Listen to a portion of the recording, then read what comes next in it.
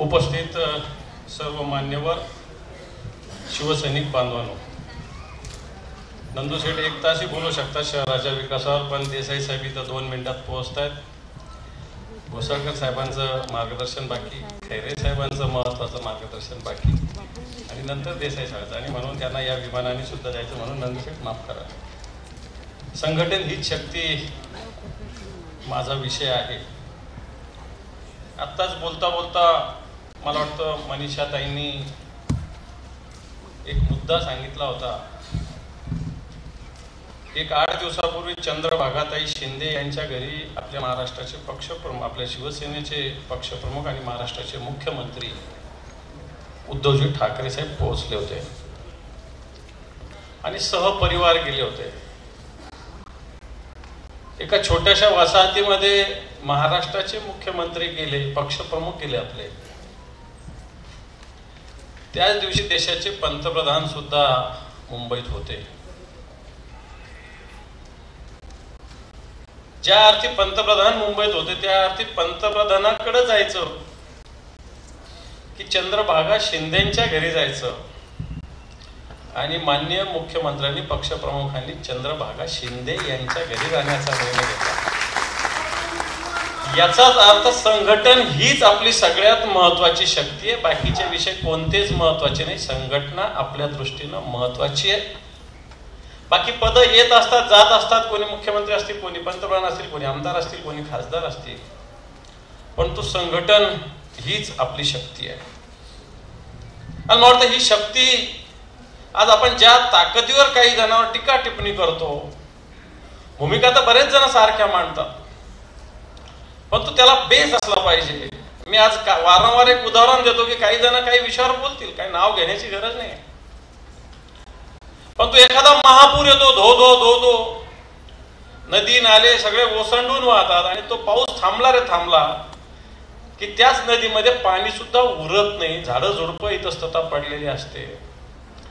मग ज्याचं संघटन नाही असं त्याचं होऊ शकतं. शिवसेनेचं असं होऊ शकत नाही कारण शिवसेनेचे पाळमुळं मजबूत रुतलेले रोवलेले शिवसेना प्रमुखाच्या आशीर्वादाने. आणि म्हणून मला असं वाटतं की या संघटन शक्तीच्या बळावर आपले पक्षप्रमुख सहज लालकारी देतात कोणालाही. कोणालाही देऊ शकतात. देण्याची शक्ती त्यांची हिंमत आहे. आपल्याला वाटत होतं की असं होईल तसं होईल कसं होईल परंतु आता आपल्याला कळतं की उद्धवजी ठाकरे साहेबांच्या नेतृत्वाखाली कशा पद्धतीनं महाराष्ट्र पुढे जातो. एक शरद पवार साहेबांच्या घरी हल्ला झाला होता त्या दिवशी चाकणचा एक आमदार राष्ट्रवादीचं त्यांनी भाषण केलं. की हार हल्ला मातोश्वर करून दाखवायचा होता. नंतर तुम्हाला कळालं असतं काय झालं असतं ते. कारण नुसतं येणार म्हटल्यावर आपले शिवसैनिक कसे चवतळून उठले? मला असं वाटतं ही संघटन शक्ती आपल्यासोबत आहे म्हणून आपल्याकडे कोणी बोट दाखवण्याची हिंमत करू शकत नाही.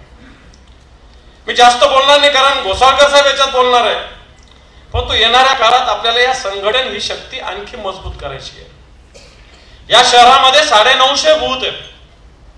आपण वारंवार वेगवेगळ्या मोहिमा मागच्या दोन चार सहा महिन्यात वर्षभर आपले संपर्क प्रमुख इथं काळशेकर साहेब असले राणे साहेब असले आणखी बरेच जणी आता मधल्या काळात विनायक राऊत साहेबांचा सुद्धा दौरा झाला. कशासाठी झाला?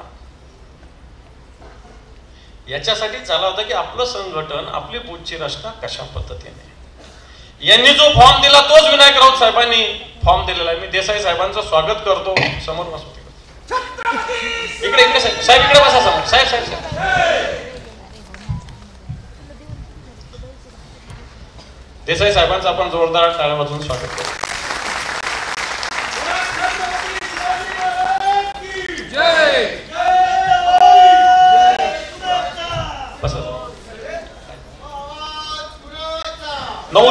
नऊशे बूथ आपल्या संभाजीनगर शहरात आहे.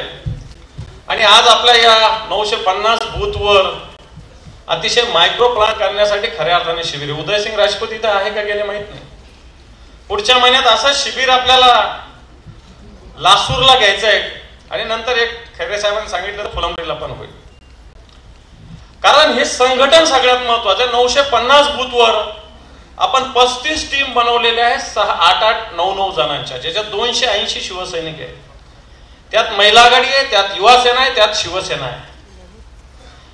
त्याचप्रमाणे या सगळ्याला सपोर्ट करण्यासाठी शिक्षक सेना सुद्धा आपण सोबत घेतलेली आहे.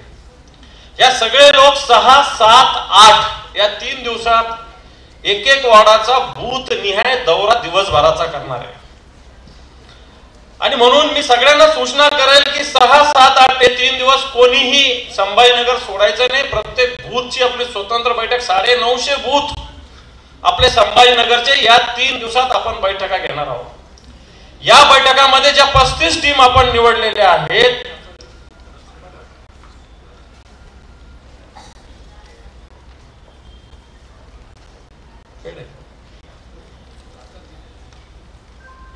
पाचला नाही करते सर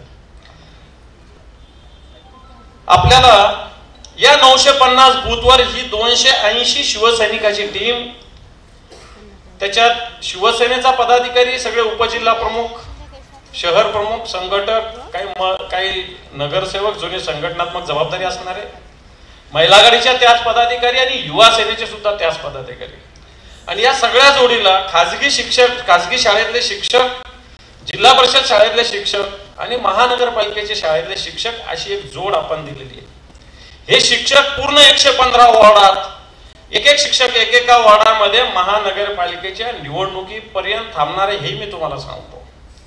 कारण हे शिक्षक या सगळ्या पद्धतीनं त्या वॉर्डाचा सगळा आपल्याला रितसर गोता गोशवारा आपल्याला संघटनेकडे देणार आहे. आणि मग तुम्हाला आता सांगतो की एक पस्तीस टीम निरीक्षकांच्या आपण नेमलेल्या आहे. आणि या सगळ्या पस्तीस टीम नंतर खऱ्या अर्थानं सहा सात आठ बूथ वाईज सगळ्या वाढत जाणार आहे आणि म्हणून ही मोहीम अतिशय महत्वाची राहणार याच्यामध्ये फॉर्म आपण त्याच्यामध्ये प्रत्येक बूथवर शिवसेनेचे दहा युवा सेनेचे दहा महिला आघाडीचे दहा दहा जुने शिवसैनिक आणि दहा एक की वोटर्स म्हणजे पन्नास जणांचा डाटा एका बूथवरचा आपल्याला जमा करायचा आहे. यातला मेजॉरिटीनं वीस पंचवीस जणांचा डाटा आपल्याकडे आहे. पण तो आता एका बूथवर पन्नास जणांचा डाटा याच्या मागचं राजकीय असं. की या पन्नास कुटुंबाशी जरी आपला संपर्क असला या पन्नास कुटुंबांनी जरी शिवसेनेला मतदान केलं आणि एका वॉर्डात दहा मतदार यादी असल्या तरी मला वाटतं अडीच ते तीन हजार मतदान आपण मिळवू शकतो याच्या मागचं गणित हे. आणि म्हणून ही मोहीम आपल्याला यशस्वी करायची. कारण आपण जे बोलतो ताकदीनं बोलतो हे संघटनेच्या आधारावर बोलतो. आणि म्हणून हा आपल्याला दौरा सहा सात आठ ला संभाजीनगरात आपल्याला करायचा आहे. एक आठ जूनचं मला वाटतं खैरे साहेबांनी देसाई साहेब जाहीर करतील मान्य उद्धव साहेब आपल्याकडे येणार आहे परंतु त्याच्या आधी आठ दिवस संपूर्ण जिल्हा आणि शहर सुद्धा आपला दौरा पुन्हा एकदा होणार आहे. आणि आठ जून नंतर एकोणीस जून पर्यंत सुद्धा पुन्हा एकदा संघटनात्मक कामकाजासाठी आपला जिल्हा आपण ढवळण काढणार आहोत. आणि म्हणून आता या सगळ्या गोष्टी होतात. हा प्रचार होतो. या प्रचाराच्या नादी बरेच जण सांगतात ते असं उलागलं असं हे काही नाही. हे होऊन जात असतं. मला वाटतं याची चिंता आपण करण्याची गरज नाही. एक आपण परवा आमच्या बैठकीमध्ये सांगितलं असं प्रवक्त्यांच्या. एक आपल्याला मुन्नाबाई लगेराव मुन्नाबाई पिक्चर होता. त्याच्यामध्ये केमिकल लोचा सांगितलेला आहे.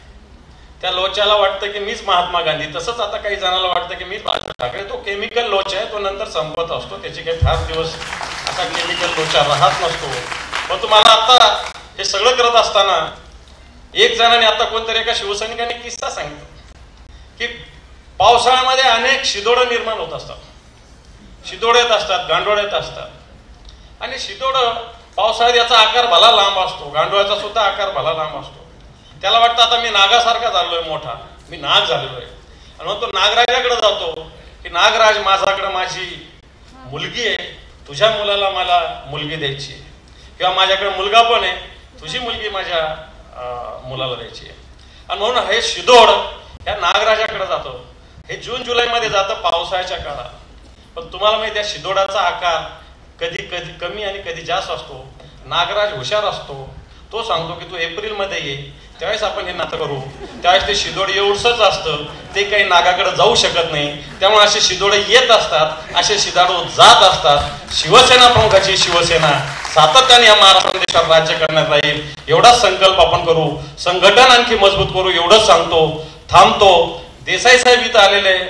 त्याच्यानंतर गोसाळकर साहेबांनी खैरे साहेब बोलणार आहे देसाई साहेबांना मी विनंती करतो की आपण या शिबिराला मार्गदर्शन करावं. एबीपी माझा. उघडा डोळे बघा नीट.